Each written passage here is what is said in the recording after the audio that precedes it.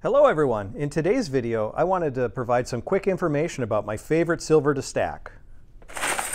90% silver coins. 90% silver coins from 1964 or earlier, dimes, quarters, or half dollars in the US, were composed of 90% silver by weight. Our currency nowadays, folks, no precious metal at all. It's kind of a sad state. But I love the history of it, and I love that it's real money because it contains silver.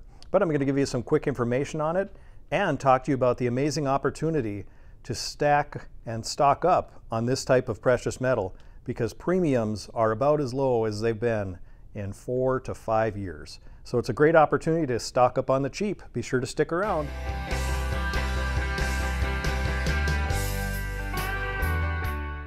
So as I said, one of my favorite things to stack, probably my most favorite actually, is 90% silver coins whether it be mercury silver dimes, which I love.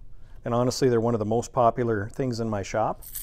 I tend to run out of these, but I have a very, very good supply on hand right now.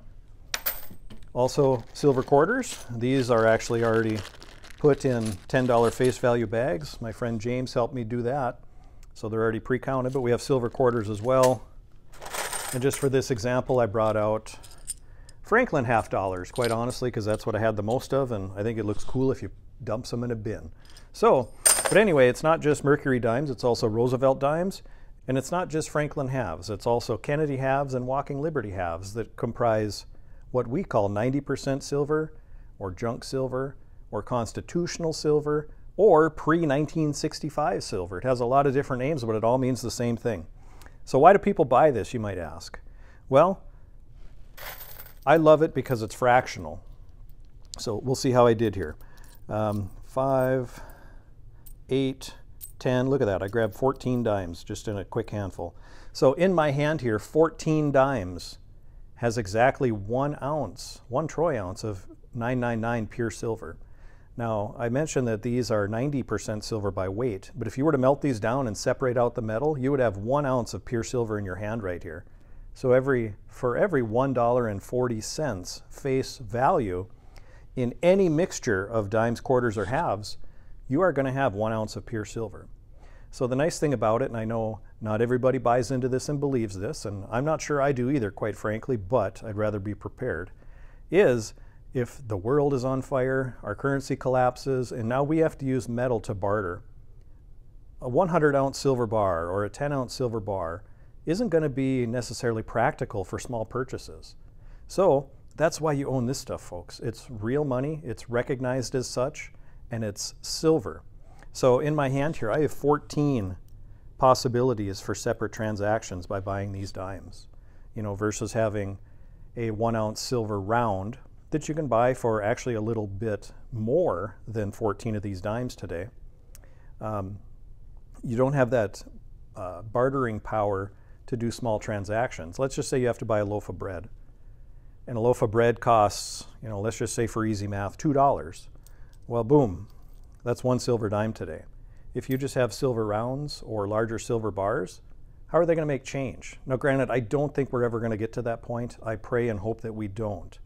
But it's always best to prepare for the worst and pray it doesn't happen. I truly believe that. So that's why I'm buying this stuff. And even if I never need to use it for bartering, it's still silver, folks. And as I said here in my hand, there's $1.40 face equals one ounce of pure silver. And it's any way you want to mix it up. You know, obviously you can't get to $1.40 by using half dollars, but you could use, you know, you could do one half dollar, two quarters, and four dimes. You still got your one ounce. The premiums on 90% silver are lower than they've been in several years. In fact, you can buy one ounce of 90% silver coinage, which is $1.40 face, for less than you can buy a one ounce silver round today. Not only do you have the same amount of silver, but you have the fractionality of it. So, for what it's worth, I'm buying and stacking 90% silver now. I believe it's a great investment, even if you don't need to use it for bartering. It's always recognizable and it's something you can always trade with. You can sell to coin shops.